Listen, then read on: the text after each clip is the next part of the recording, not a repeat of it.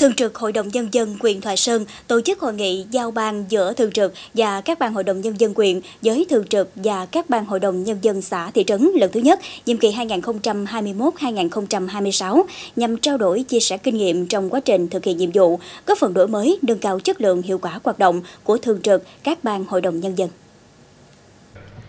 Để tiếp tục nâng cao chất lượng hiệu quả hoạt động của thường trực và các ban hội đồng nhân dân các cấp, bà Nguyễn Thị Minh Kiều, Bí thư quyền ủy, Chủ tịch Hội đồng nhân dân huyện Thoại Sơn đề nghị thường trực Hội đồng nhân dân các cấp chủ động phối hợp Ủy ban nhân dân, Ủy ban mặt trận Tổ quốc Việt Nam, các ngành liên quan thống nhất nội dung chương trình kỳ họp, đảm bảo chất lượng đúng quy định của pháp luật, nâng cao vai trò trách nhiệm trong lãnh chỉ đạo các ban của Hội đồng nhân dân và các cơ quan đơn vị liên quan trong chuẩn bị tổ chức kỳ họp. Hoạt động thảo luận chất vấn tại kỳ họp cần được quan tâm thực hiện, phát huy giá vai trò của đại biểu cơ quan dân cử, tập trung vấn đề khó,